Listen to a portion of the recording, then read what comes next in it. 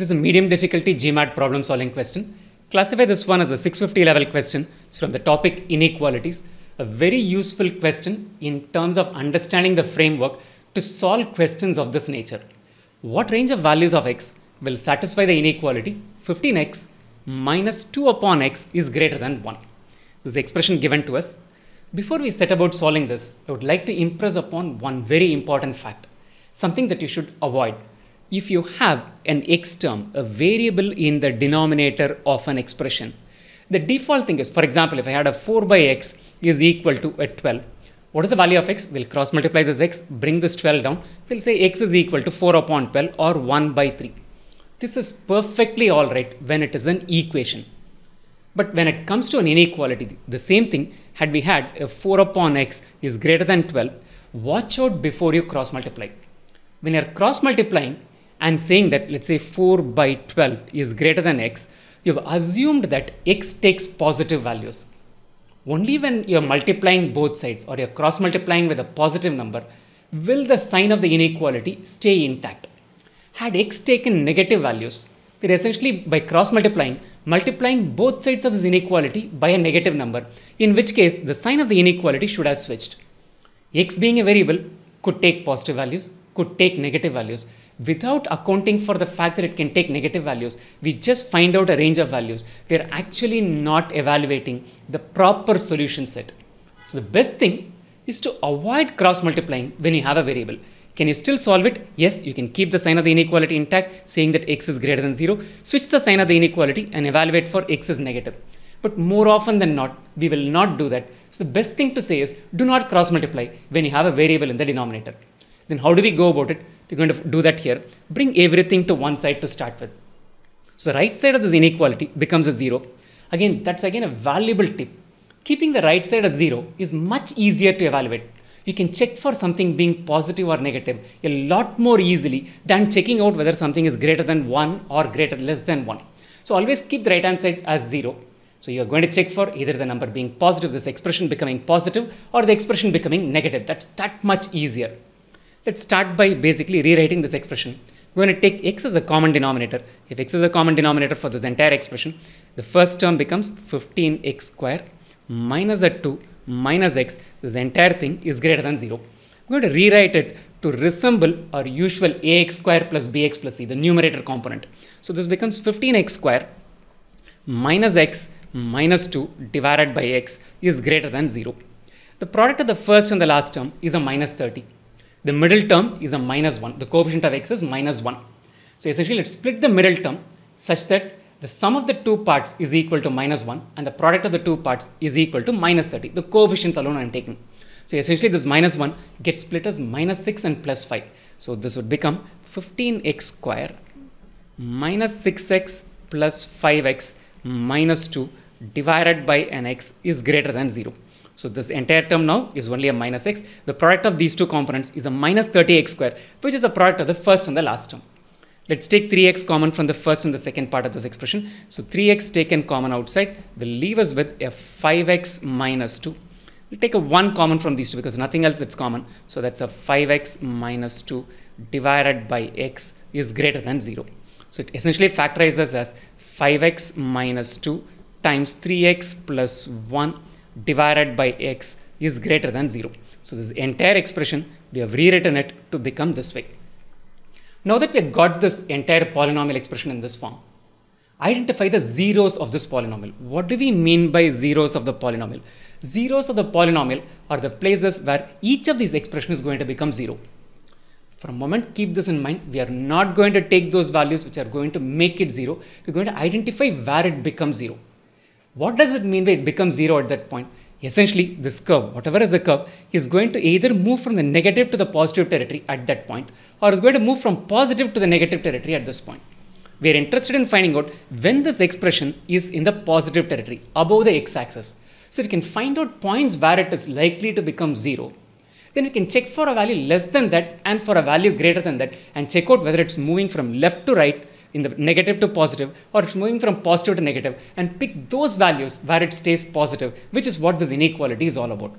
So it's said about doing zeros are 5x minus 2 becomes 0, then x is equal to a 2 by 5. when x is equal to 2 by 5, this component becomes 0. So it's called one of the zeros of this polynomial. We are not going to say x is 2 by 5. We are saying identifying where it cuts it. That's what. Keep that in mind because especially in the denominator, when I'm going to say x is equal to 0 is one of the zeros, many of you will be troubled to saying that how can the denominator become 0? I'm never going to make x a 0. I'm taking 0 as a point and looking for a value little less than 0 and for a value little more than 0. I'm never going to substitute a 0. So do not worry about it. The next value is when 3x plus 1 is a 0. If 3x plus 1 is a 0, then the value of x becomes x is equal to minus 1 by 3. That's one of the zeros. And here, when will this part become 0? We are not making the denominator 0. This is going to become 0 when x is equal to a 0. So the zeros of this polynomial are three numbers, 2 by 5, minus 1 by 3 and 0. So step 1, what we did is we got everything to one side and rewrote it in a factorized form. That's step number 1. Step 2, we have identified the zeros of this polynomial. Step 3 will give us the answer. We can find out the intervals in which this inequality is going to hold good. I'm going to start writing all of these zeros in the ascending order. Minus 1 by 3, 0 and 2 by 5. Let's plot it on a number line. See this is 0, minus 1 by 3 is going to be to the left of 0 and 2 by 5 is going to be to the right of 0. We have four intervals where we need to check. One for a value less than minus 1 by 3. The second interval is for a value between minus 1 by 3 and 0. The third one between 0 and 2 by 5. And fourth one for a value greater than 2 by 5. What is the idea? It's either going to be this way or it is going to be this way. So this is the point where it is going to become 0. I'm going to check whether here it is positive or negative. If it is positive here, the inequality holds good. If it is negative here, the inequality does not hold good. It's as simple as that. Let's start with the first interval. The first interval is for a value of x which is less than minus 1 by 3. Less than minus 1 by 3. Minus 1 by 3 is a minus 0.33. Let's take a very convenient number to plug in. I'm going to go with a value of x equals minus 1 and check out whether this inequality will hold good You can substitute in any step from this point forward till the factorized step. We'll go with this. It's an easy place to plug it in. 15x minus 2 by x, we'll find out the value when x is equal to minus 1. So this becomes, when x is equal to minus 1, 15 times minus 1 minus 2 divided by minus 1. That's the value of this expression. 15 times minus 1 is a minus 15. Minus of minus will make it as plus, plus 2. This is equal to minus 13. We need this expression to be greater than 1. When x is a minus 1, this expression is not greater than 1. So the inequality does not hold good. So interval 1, it does not hold good. Pause the video here. Take a value between minus 1 by 3 and 0. Take a value between 0 and 2 by 5. Take a value greater than 2 by 5 and run through the same process and check out where all you're getting the value of this expression to be greater than 1.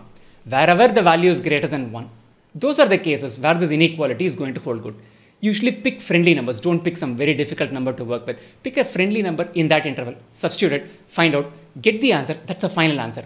Come back to the video. We'll quickly check out whether our methods match. Have you found out the answer? I'm going to start with the second interval. The second interval is 1 where it lies between minus 1 by 3 and 0. So I'm going to pick a value of x which is greater than minus 1 by 3 and less than 0. Notice this, I'm not taking a minus 1 by 3, neither have I taken a 0. I'm plugging in a value which is greater than minus 1 by 3 and something that's less than 0. Minus 1 by 3 is a minus 0.33. This is a 0. So I'm going to take again a very convenient number. I'm going to go with x equals minus 0.1. That's between minus 0.33 and 0. So when x is a minus 0.1, plug it in here. This becomes 15 times minus 0.1 minus 2 divided by minus 0.1. 15 times minus 0.1 is a minus 1.5. Minus of minus will make this a plus. 2 by 1 is a 2. 2 by 0.1 is a 20. Minus 1.5 plus 20 will give us an answer which is plus 18.5. Is it greater than 1? Yes, it is greater than 1. So inequality holds good in the second interval. The second interval is x lies between minus 1 by 3 and a 0. Let's move to the third interval. We'll use the number line to again help us. Let's go with 0 here, minus 1 by 3 and a 2 by 5. We realized in the first interval, which is less than minus 1 by 3, it did not hold good. The second interval between minus 1 by 3 and a 0, it was working. It's a part of the solution set. The third interval we are going to evaluate is between 0 and 2 by 5. So x in the third interval is going to take a value which is positive greater than 0 and it is less than 2 by 5. 2 by 5 is a 0.4. So again, going to plug in a very friendly number, which is 0.1. Plug it in here. The expression becomes 15 times 0.1 minus 2 divided by 0.1. 15 times 0.1 is a 1.5 minus 2 by 0.1 is a 20, the 0.1. So the answer becomes minus 18.5. It's a negative number, definitely not greater than 1. So it fails in the third interval. Third interval is not a part of our solution set. Let's look at the last interval. x takes a value which is greater than 2 by 5. 2 by 5 we know is a 0.4. So let's plug in a number greater than 0.4. I'm going to go with x equals 1. Don't go for a 0.5. 1 is much easier to plug in than a 0.5. So here x equals 1. The expression becomes 15 times 1 minus 2 by 1 15 times 1 is a 15 minus 2 by 1 is a 2 which is equal to 13 which is greater than 1 so inequality holds good in the fourth interval. So what's the solution set? You can take any value between minus 1 by 3 and 0 and for values which are greater than 2 by 5 so solution set for this is minus 1 by 3 less than x less than 0 it lies between minus 1 by 3 and 0 union x takes a value which is greater than 2 by 5 quickly run through this entire thing in a minute in a printed form and consolidate this learning. Starting by rewriting this expression, taking x as a common denominator. So we get a quadratic expression. The numerator of the quadratic expression factorizes as follows. This is just the numerator component alone. 5x minus 2 into 3x plus 1. So the expression becomes 5x minus 2 times 3x plus 1 upon x greater than 0. We're identifying the zeros of this polynomial, which are when this term becomes 0, which will be a 2 by 5, when this part becomes a 0, which is minus 1 by 3, and the denominator becomes a 0. We are not ever going to substitute x as a 0. We're finding out the zeros of each of this component, which is equal to 0. Going to go with a number line 0, minus 1 by 3, and 2 by 5. Picking the first interval, which is a number which is less than minus 1 by 3, taking x equals minus 1, we realize the value of this entire expression is a minus 13 which is not greater than 1. So inequality fails in the first interval. It does not hold good here.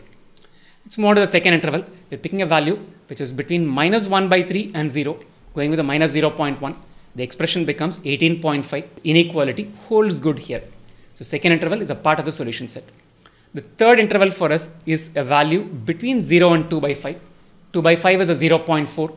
So going with 0.1 as a value to substitute, the value becomes minus 18.5 minus 18.5 is not greater than 1. So inequality fails here. It does not hold good in the third interval.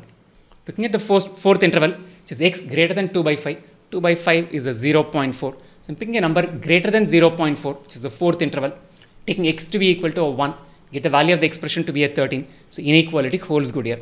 Two green zones between minus 1 by 3 and 0 and two, a value greater than 2 by 5. So minus 1 by 3 to 0 is one range of values. Union x greater than 2 by 5 is the solution to this inequality. Answer choice D is the correct answer. So quick recap about the method. One, most importantly, do not cross multiply. Avoid cross multiplying when you have an x term in the denominator. Take everything to one side. So you're going to always evaluate for something being positive or something being negative. Then factorize the expressions, identify the zeros of the polynomial. Plot the zeros of the polynomial on a number line and pick the ranges of values that you need to substitute to check out. Always find friendly numbers in each of these ranges. Plug it in in any step starting from the original inequality expression to the one that you finally got down in a factorized form. All of those will give you the same answer. It's going to say you an yes or a no, whether it holds good in the interval or it's not going to hold good in that interval. Before you leave, I'm going to ask you to do two things. One, sign up as a trial user at wzko.in slash core, the URL shown on the screen.